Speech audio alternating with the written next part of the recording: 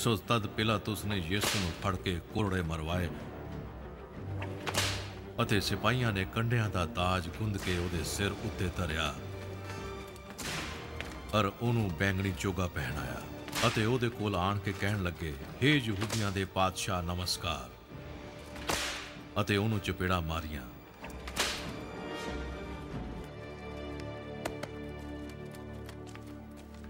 ਤਦ ਪਿਲਾਤੁਸ ਨੇ ਫੇਰ ਬਾਹਰ ਨਿਕਲ ਕੇ ਉਹਨਾਂ ਨੂੰ ਆਖਿਆ,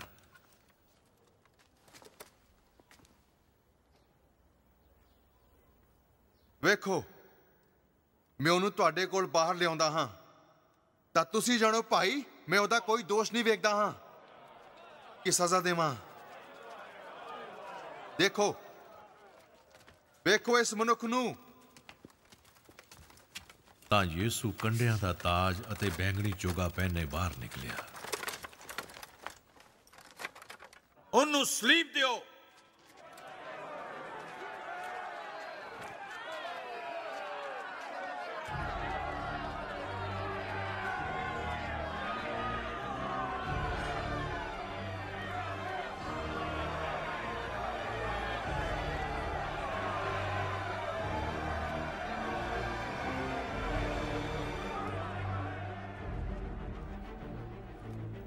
ਤੁਸੀਂ ਆਪੇ ਇਹਨੂੰ ਲੈ ਕੇ ਸਲੀਪ ਦਿਓ। ਕਿਉਂ ਜੋ ਮੈਂ ਇਹਦਾ ਕੋਈ ਦੋਸ਼ ਨਹੀਂ ਵੇਖਦਾ ਹਾਂ? ਸਾਡੇ ਕੋਲ ਸ਼ਰਾ ਹੈ ਤੇ ਉਸ ਸ਼ਰਾ ਅਨੁਸਾਰ ਇਹ ਮਰਨਯੋਗ ਹੈ। ਇਸ ਲਈ ਜੋ ਇਹਨੇ ਆਪਣੇ ਆਪ ਨੂੰ ਪਰਮੇਸ਼ਰ ਦਾ ਪੁੱਤਰ ਬਣਾਇਆ।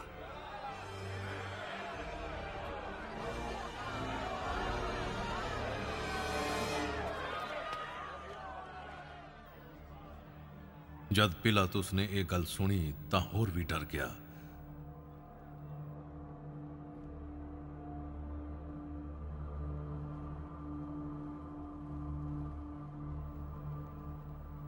ਅਤੇ ਕਚਹਿਰੀ ਦੇ ਅੰਦਰ ਫੇਰ ਜਾ ਕੇ ਯਿਸੂ ਨੂੰ ਪੁੱਛਿਆ ਤੂੰ ਕਿੱਥੋਂ ਦਾ ਹੈ?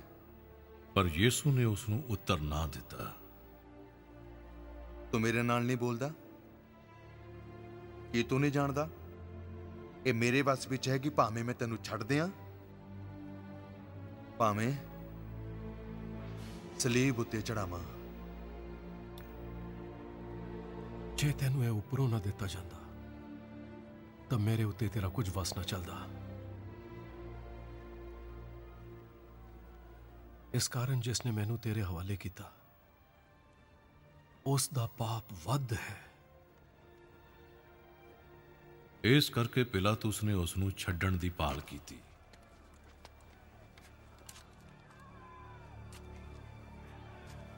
ਜੇ ਤੂੰ ਇਸ ਨੂੰ ਛੱਡ ਦੇਵੇਂ ਤਾਂ ਤੂੰ ਕੈਸਰ ਦਾ ਮਿੱਤਰ ਨਹੀਂ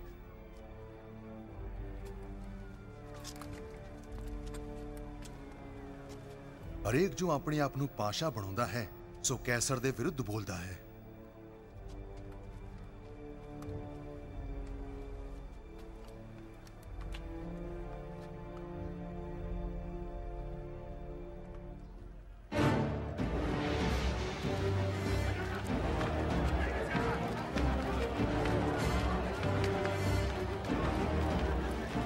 ਤਦ ਪਿਲਾਤੁਸ ਇਹ ਗੱਲਾਂ ਸੁਣ ਕੇ ਯਿਸੂ ਨੂੰ ਬਾਹਰ ਲਿਆਇਆ।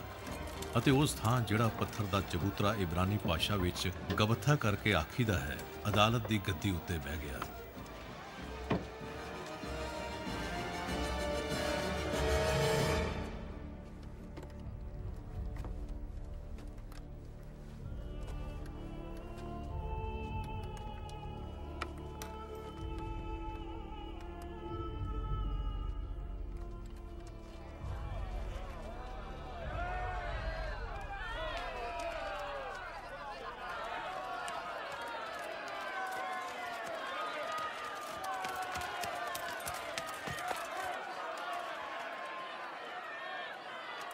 ਇਹ ਪਸਾਹ ਦੀ ਤਿਆਰੀ ਦਾ ਦਿਨ ਅਤੇ ਦੁਪਹਿਰ ਦਾ ਵੇਲਾ ਸੀ ਅਤੇ ਉਹਨੇ ਯਹੂਦੀਆਂ ਨੂੰ ਕਿਹਾ ਭਾਈ ਵੇਖੋ ਉਹ ਤੁਹਾਡਾ ਪਾਸ਼ਾ।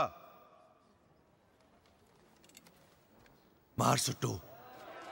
ਹਾਰ ਸੁੱਟੋ। ਹਾਰ ਸੁੱਟੋ। ਹਾਰ ਸੁੱਟੋ ਹਾਰ ਸੁੱਟੋ ਹਾਰ ਸੁੱਟੋ ਹਾਰ ਸੁੱਟੋ ਹਾਰ ਸੁੱਟੋ ਹਾਰ ਸੁੱਟੋ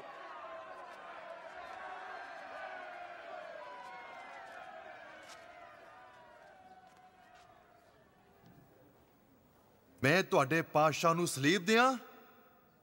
ਕੈਸਰ ਬਿਨਾ ਸਾਡਾ ਕੋਈ ਪਾਤਸ਼ਾਹ ਨਹੀਂ ਹੈ। ਸੋ ਉਹਨੇ ਉਸ ਨੂੰ ਉਹਨਾਂ ਦੇ ਹਵਾਲੇ ਕਰ ਦਿੱਤਾ ਭਈ ਉਹ ਸਲੀਬ ਤੇ ਚੜਾਇਆ ਜਾਵੇ।